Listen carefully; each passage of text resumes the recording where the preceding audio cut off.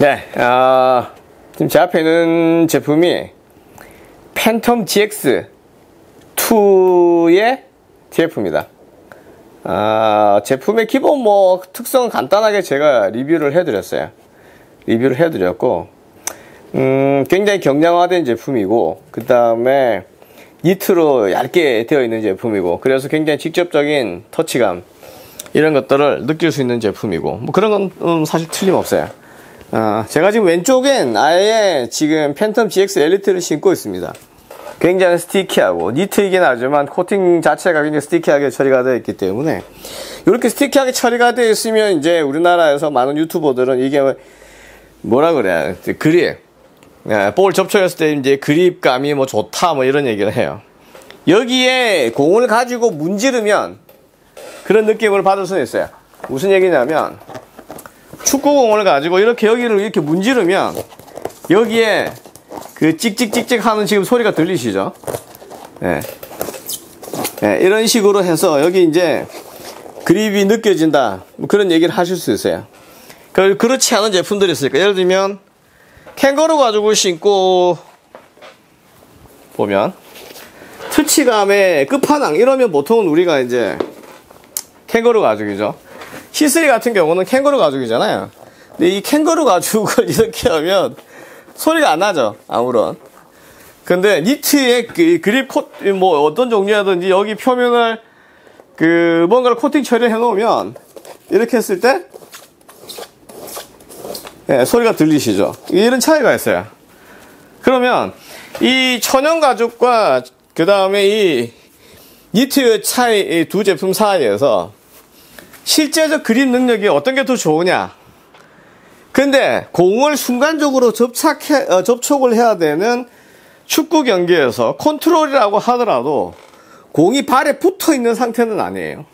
순간적으로 붙었다 떨어지는 거지. 그러니까 공의 발에 공을 킥을 한다 그러면 이 킥을 하는 순간은 0.01초다. 뭐. 왜냐하면 실제 접촉되는 순간은.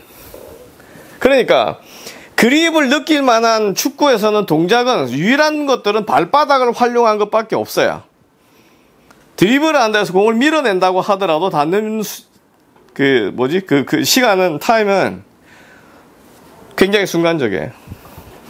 거기다가 요즘처럼 천연잔디든 인조잔디든 뭐 물이 있다든지 그렇게 되게 되면 실제적으로 그립 컨트롤성에서 이 부분과 눅눅하게 젖어서 있는 이 가죽 사이에 어느 쪽이 더 컨트롤이 더 좋아지느냐 하는 것도 논란이 될 수 있어요.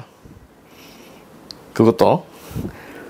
그러니까 공이 순간적으로 닿는 상황에 대해서 이 공을 가지고 뭐 이 양쪽을 이렇게 발을 가지고 이렇게 움직이면서 오랫동안 발을 뭐 이, 런 이런 걸 끼워 가지고 뭐 이렇게 뛰, 뛰는 운동을 한다든지 그랬을 경우에 공이 오랫동안 이 공과 이 신발과 접촉해 있으면서 그립이 만들어진다 그러면 이런 종류의 형태의 그립을 그립이 있다 하겠지만 실제로 워낙 순간적으로 공을 공들은 되게 터치가 되는 거기 때문에 그러니까 순간적 터치가 되는 거기 때문에 이렇게 되어 있다 그래서 뭐 딱히 이게 뭐 더 좋다고 할 만한 건 없어요.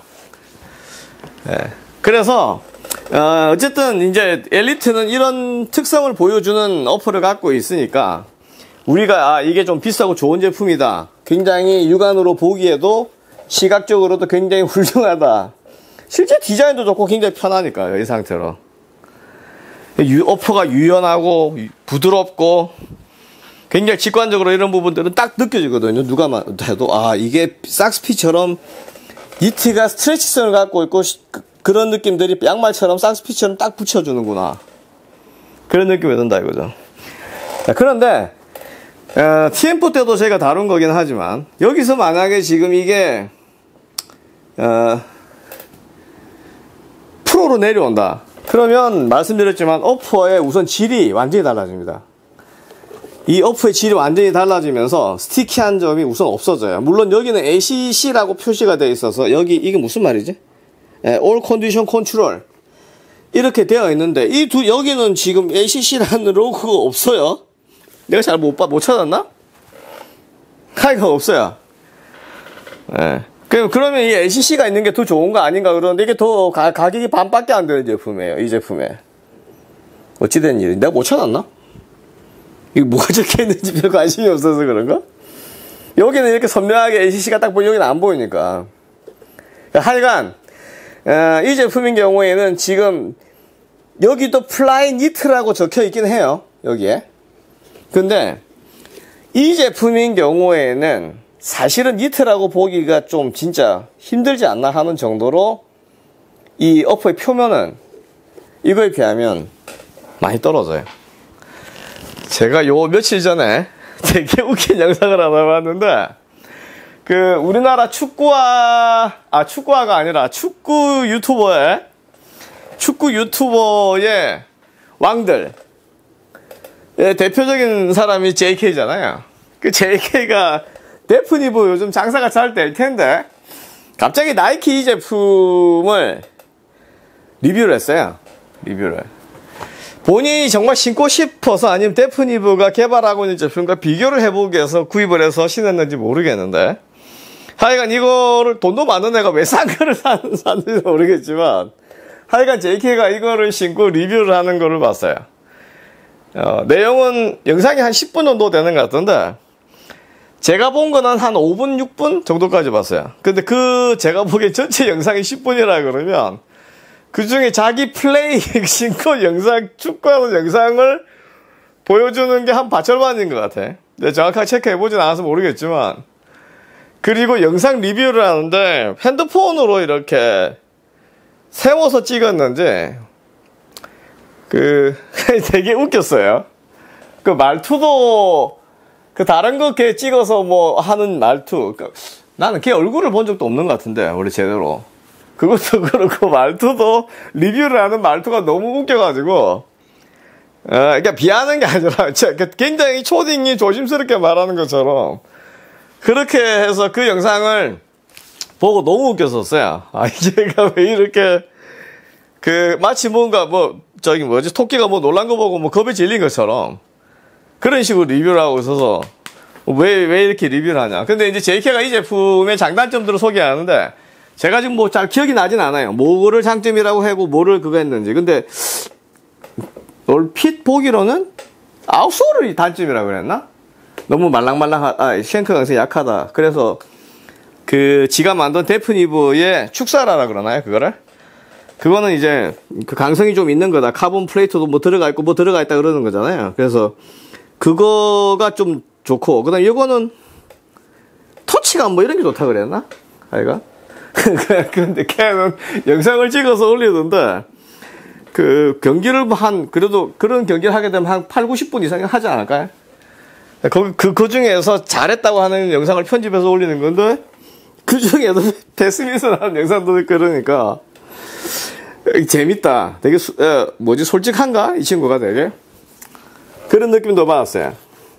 근데 JK가 리뷰 내용이 그렇게 틀린 게 아닌 게, 나이키에 이게 많은 사람들이 이제 저보고 너 당신 발볼 넓다. 그 다음에 뭐 발등 발볼 개 넓으니 뭐 발등의 높이가 엄청 높으니 막 이런 얘기를 해요. 그런데 그런 사람도 이렇게 신으면 사람들이 보기에 발등이 높 발등이 넓어 보이고 발볼이 발볼이 넓어 보이고 발등이 높아 보이고 높아 보이나요? 개 높다, 뭐, 후지산이네, 뭐, 온갖 얘기들이 다 있던데. 뭐, 하여간, 이게 넓, 넓은 건지, 넓, 넓, 넓, 뭐, 좁은 건지, 넓은 건지, 높은 건지, 이런 거잘 몰라요. 왜냐? 기준이 없기 때문에. 그 자기 발 대비로 이게 넓다, 뭐, 아, 뭐, 뭐지, 높다, 이런 거는, 이런 거는 똑같아요. 저 친구가 내보다 잘생겼다, 아니면 내보다 못생겼다, 그런 얘기로. 예? 잘생기고 못생긴 거에 기준이 없잖아. 근데 내가 보기에는 쟤는 나보다 못생긴 것 같아. 그리고 쟤는 나보다 잘생긴 것 같아. 뭐 그런, 그런 식인 거죠. 제가 이게 농담 삼아로 얘기하는 게 아니라 실제로 발볼의 정의, 발볼의 평균 데이터 이런 건 없어요. 남자의 평균 신장을 전 세계 인구의 남자 키를 다 재면 평균을 구할 수는 있어요. 그래서 어떤 것, 어떤 발은 그 전 세계 80억 인구 중에 40억이 남자라 그러면 40억 남성 인구의 발, 발의 평균치는 나올 수 있어요.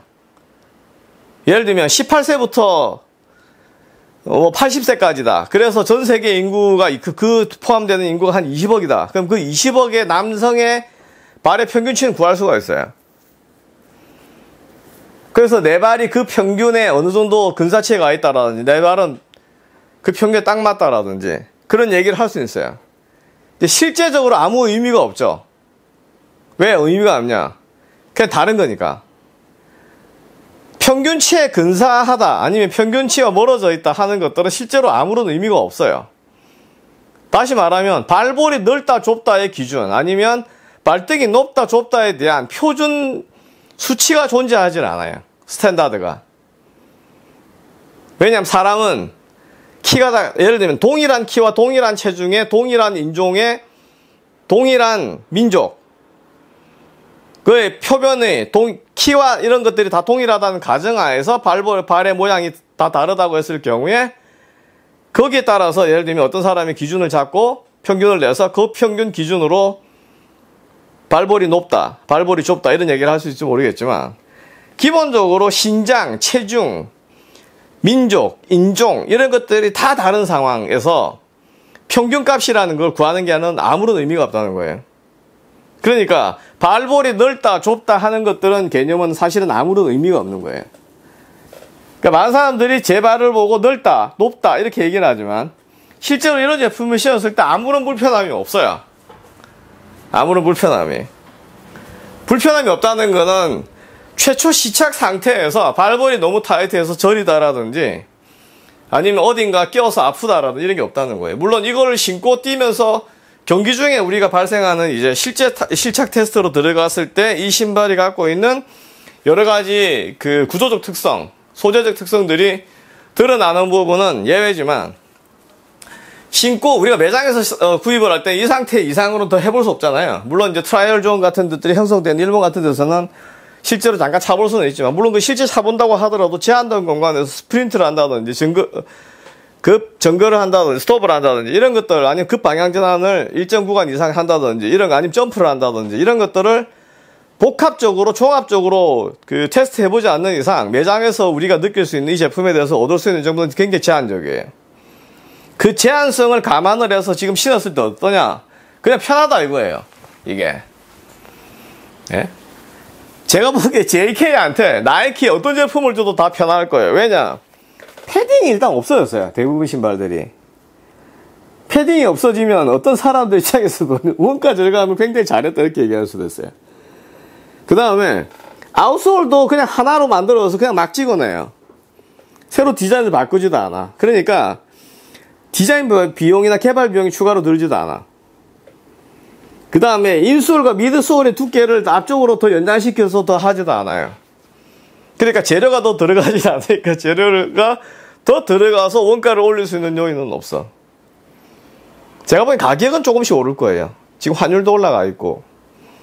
그 다음에 코로나 이후에 어쨌든 여러 가지 요소들에 의해서 일본 브랜드들 보면 가격이 조금씩 올라가고 있거든요. 근데 레플리카, 유니폼 같은 경우도 recycle paper를 쓴, 어, recycle 그 플라스틱을 썼다, 안 썼다에 따라서 가격이 계속 올라가고 있고. 그러니까 신발의 가격이 아마 축구화 가격도 다소 오르겠다 이런 생각이 들긴 해요. 근데 하여간 요 상태 요런 축구화들은 요 upper 자체로만 보면 이거와 비교할 그러니까 엘리트와 지금 이걸 비교할 필요가 없이 요 자체로만 보더라도 베어풋에 근사한 느낌이 든다 이거예요. 왜냐? 패딩이 아무것도 없기 때문에 볼에 접촉될 때는 직접적인 접, 촉감을 느꼈네. 만약에 미즈노 모렐리아를 신는다. 아니면 아식스 시스를 신는다. 이러면 여기 패딩 처리가 되어 있죠. 물론 이 패딩도 엄청 크게 많이 느껴지는 건 아니지만 이것만 하더라도 사실 볼 컨트롤성이나 이런 데서 직접적인 터치감이 느껴지고 하거든요. 미즈노 모렐리아에 패딩이 들어가 있고 네오도 패딩이 들어가 있지만 베어풋이라고 얘기를 하니까.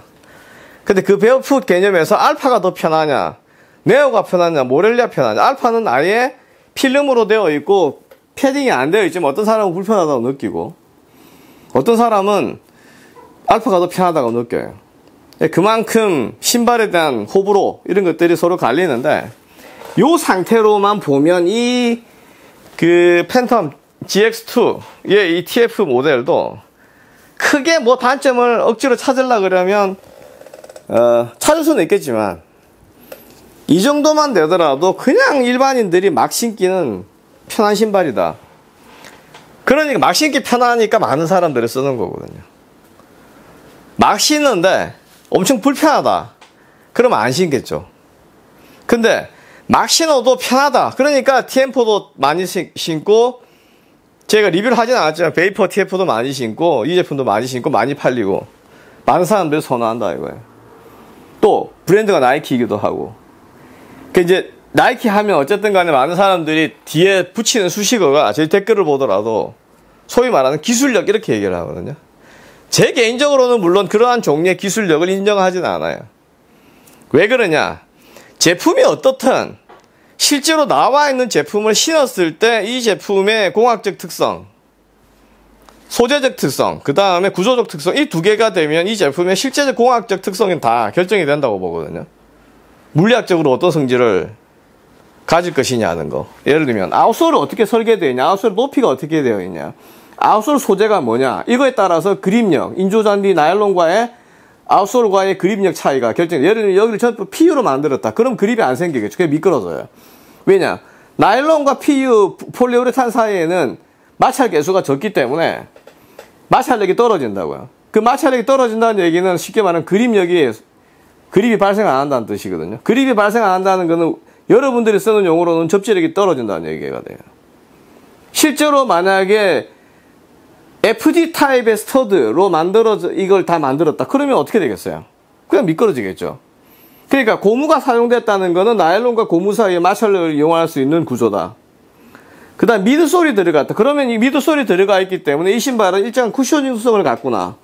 근데 미드솔에 들어가 있는 에바의 이 태, 태, 저기 탄성 정도가 고탄성이냐 저탄성이냐에 따라서 이 쿠셔닝 정도가 달라질 것이고 여기에 들어가 있는 미드솔이 풀랭스로 들어가 있냐, 하프랭스로 들어가 있냐, 4분의 3만 들어가 있냐에 따라서 어느 부위가 어떤 식으로 쉔크 가능성이 정해지고 그에 따라서 족적 음악 가능성이 몇 경기 정도 치르면 올 것이냐 하는 것들이 예측이 가능하게 되고 니트가 포함이 되어 있다. 그러면 니트의 일반적 특성은 시축성, 스트레치성이니까 그 스트레치성이 코팅으로 처리가 되어 있으면 그 코팅의 두께와 정도, 소재에 따라서 이 슈즈의 upper의 hold성이 어느 정도 지속이 될 것이냐. 그 다음에 어느 정도 hold성을 갖게 될 것이냐 경기 중에 이런 것들이 결정이 된다 이거예요. 그러니까 그, 그런 관점에서 지금 나이키 여기 ACC가 포함되어 있고 뭐 Flyknit로 표시되어 있고 한 것들은 모르겠다 이거예요 저는. 그게 Flyknit든 무슨 니트라 표시를 하든 그냥 천이다. 아니면 그냥 인조 가죽이다. 이렇게 표시를 해놓는 거랑 제 입장에서 보면 아무런 차이가 없어요. 왜냐? 제가 이걸 신고 느끼는 것들이 제가 결정할 수 있는 이 리뷰의 최종 결론이거든요. 그러면 니트다. 그럼 아, 니트구나. 그럼 니트의 특성이 뭐냐? 스트레치성을 갖는데 스트레치성이 무한대로 있으면 격렬한 운동 과정에서 신발 홀드성이 없어지기 때문에 지속적으로 사용하는 게 불가능해진다. 그럼 불가능한 거를 막기 위해서 어떻게 해야 되느냐? 스트레치성 이 홀더를 강화시키기 위해서 코팅의 두께가 두꺼워진다. 이런 결론이 나오는 거죠. 결론적으로 보면. 이 팬텀은 그래서 사실은 뭐 그런 쪽 그런 측면에서 이 접근을 하게 되면 복잡하긴 하지만 사실 그런 것과 상관없이 그냥 니트류의 신발 패딩이 없는 신발로 직접적인 접촉감을 느낄 수 있는 터치감을 느낄 수 있는 신발이냐 뭐 맞다. 그러니까 편하게 신을 수 있는 조건을 갖추고 있다. 여기 React가 들어가 있다 뭐가 들어가 있다 어차피 EVA든 React든 쿠션 정도를 결정하는 거는 브랜드에서 어떤 소재를 선호하느냐에 따라서 달라지는 거기 때문에 일반인들이 뒤꿈치 쪽에 들어가 있는 거 가지고 단단하다, 뭐 물렁하다, 쿠션이 좋다, 나쁘다 표현할 수는 있지만 사실은 인체에 미치는 영향이 크진 않아서 크게 의미가 없다. 그러니까 TM4랑 그 다음에 이 이거랑 쿠션성이 다르긴 하지만 선호도에 따라서 내가 뭘 신을 거냐 결정을 하면 된다 이거죠. 결론적으로 말하면 팬텀 GX만 해도 이 엘리트에 비하면 오프의 질, 등급 이런 것들이 상당히 떨어져 있긴 하지만 일반인들이 생활 속에서 생활 축구를 진행하는 과정에서 신기는 아무런 불편함이 없다. 부족함도 없고. 물론 조금 더 좋은 걸 신으면 얼마든지 좋은 대안을 찾을 수는 있지만 굳이 내가 나이키를 신겠다. 그러면 이런 제품을 신어도 여기가 뭐 어떻게 어떻게 설명을 해봐야 큰 의미가 없다. 그냥 나이키는 나이키고 팬텀은 팬텀이고 TMF는 TMF다. 내가 좋아하는 디자인 그런 거에 따라서 그냥 결정을 하면 된다. 고민할 필요 없이. 그렇게 말씀드렸을 것 같아요. 그만큼 뭐 기본적으로 크게 약점 잡을 만한 제품은 아니다. 네.